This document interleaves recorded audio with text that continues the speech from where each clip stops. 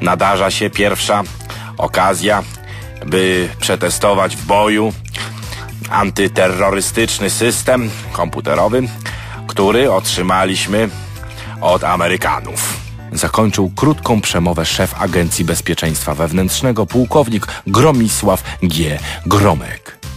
Zebrani w tajnej kwaterze kontrwywiadu mężczyźni pokiwali głowami ze zrozumieniem. Zaraz wrzucimy do maszyny wszystkie zebrane przez służby dane i otrzymamy właściwy wynik. Jestem pewny, że urządzenie odpowie nam na pytanie, kto lub co stoi za tymi strasznymi wypadkami, które dotknęły naszą nieszczęśliwą ojczyznę. Pułkownik zbliżył dłoń do dużego czerwonego przycisku umieszczonego w centralnej części konsoli. Przez chwilę zastanawiał się, co to będzie, gdy maszyna nic nie wymyśli. Zapewne powstanie straszny skandal na poziomie międzynarodowym. Sojusznik zrozumie, że nie potrafimy obsługiwać urządzenia i je zabierze, albo, co bardziej pogrążające, przyśle swoich operatorów. Polecą głowy. Co tam dumać? Zganił się w duchu Gromyk. Trzeba wziąć przyszłość w swoje ręce. Pułkownik, bez dalszego zbędnego w tych okolicznościach wahania, nacisnął przycisk. Przez chwilę nie działo się dosłownie nic. Później nieco przygasły światła, coś zabuczało, by na końcu na ekranie pojawiło się jedno nazwisko.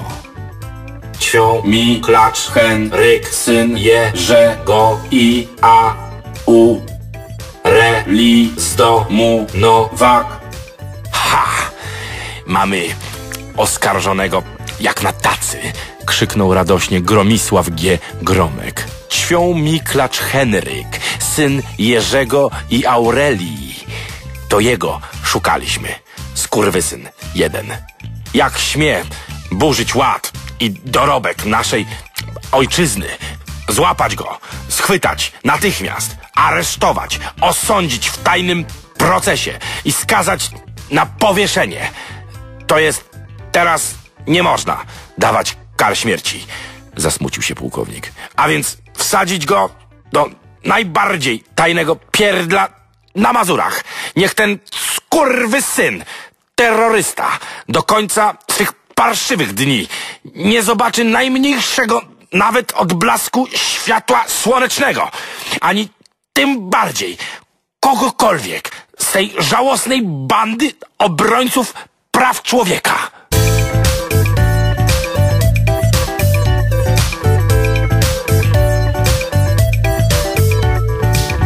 Dobra Kobra przedstawia dziś opowieść akcji na poły jednak nieco fantastyczną o, dla większej zmyłki, nieco pompatycznym tytule Nieprzeparty Marsz.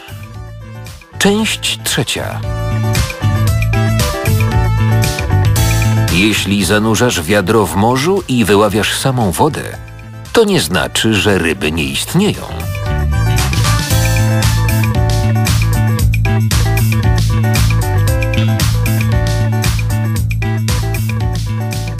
Cesiek dostawczak sunął powoli bocznymi drogami przez ukwiecone wsie i senne miasteczka. Co sto kilometrów stawał w odosobnionym miejscu, by wyciągnąć z kolejnej kryjówki nowe blachy i papiery wozu. Tylko w ten sposób, przejeżdżając pół kraju, nigdy nie zwracał na siebie uwagi. Bo kto będzie sprawdzał samochód lokalsa? Ten, kto wpadł na taki pierwszorzędny pomysł przykrycia ich działalności, powinien dostać co najmniej Nagrodę Nobla albo chociaż filmowego Oscara. Te małe skurwysyny na pace znów zaczęły się tłuc. Mimo związania rąk i nóg, co pewien czas dawały głośny koncert krzyków i łomotań. Cesiek walnął mocno pięścią w tył szoferki i z trzaskiem włączył agregat chłodniczy. Może minus osiemnaście trochę osłabi życiowe zapędy wiezionego na pace bachorstwa. Przez nikogo nie niepokojony dostawczak przemierzał kolejne kilometry z maksymalnie dozwoloną szybkością.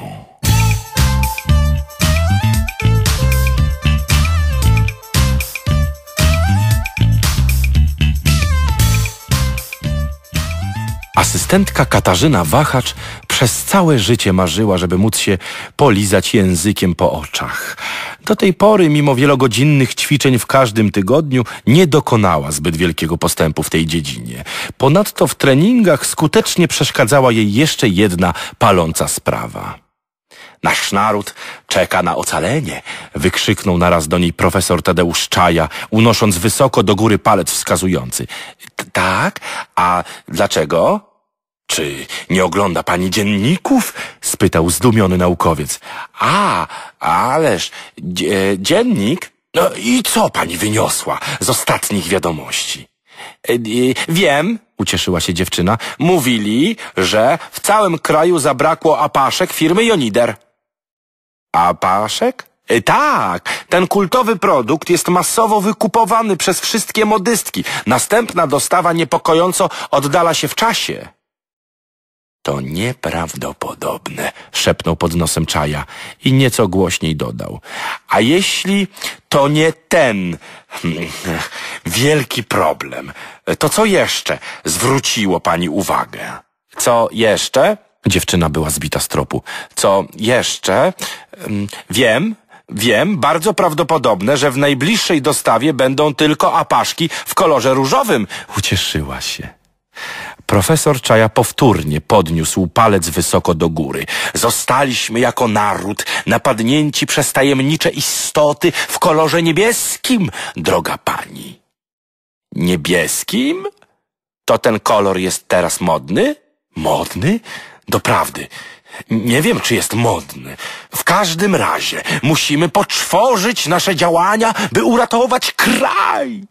Ale jak, skoro w żadnym ze sklepów nie ma apaszek? Mimo opatrznego gadania swojej asystentki, profesor Czaja czuł nieprzeparty moralny obowiązek, by za wszelką cenę pomóc ojczyźnie.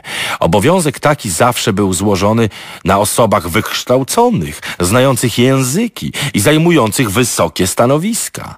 Reszta narodu nadawała się tylko do wykonywania planów narzuconych z góry. Jeśli oczywiście przy okazji nie udało im się czegoś zepsuć.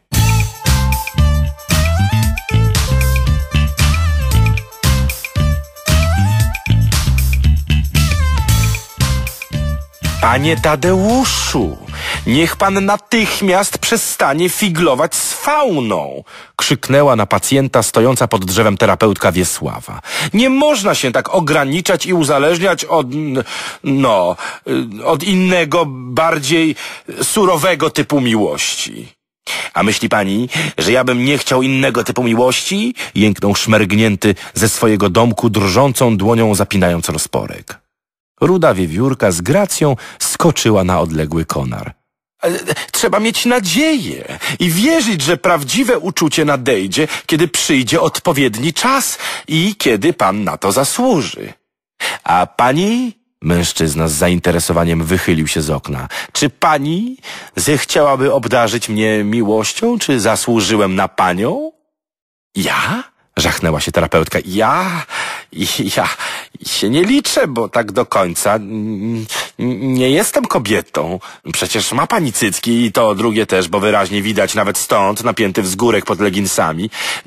Źle pan o mnie myśli, panie Tadeuszu. Ja nie mogę się zakochać, bo bo, bo czeka na mnie w domu listonosz z wielkimi wąsami i byłby niezadowolony, gdybym się w panu zakochała i wtedy mógłby chcieć bardzo na pana nakrzyczeć, gdybym tylko się w panu zadłużyła. Aha, mruknął pacjent. Jeśli tak, sprawy stoją. Dziewczęta, jedziemy! wołała dyrektorka. Już, tylko trzeba podać popołudniowe lekarstwa panu Romualdowi. I to na uspokojenie też mu dajcie, bo dziś jak się przepychał po korytarzu, to znowu złapał mnie za cycki. Pożąda mnie, dodała z satysfakcją. To musi nadciągać jakiś totalny kataklizm, pomyślała wariatka Adela. Noga rwała ją jak jeszcze nigdy dotąd. Od tej pory jeszcze uważnie ilustrowała szpitalne otoczenie. Postanowiła też nie sypiać nocami. Temu wszystkiemu z zakrzaków przyglądał się bacznie fiśnięty Romuald. Już dawno opracował wielki, a zarazem idealny plan polityczny, jak uratować kraj i wyprowadzić go z marazmu i bezrobocia. Tylko on mógł zbawić naród.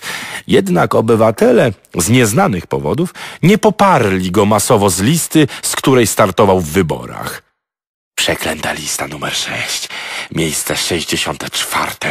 Mruknął pod nosem Romuald. Porażka w wyborach była jego największą tragedią życia. Płaczesz i jedziesz! krzyczała na podwładne dyrektorka szpitala. Ciąg dalszy nastąpi. Czytał Różowy.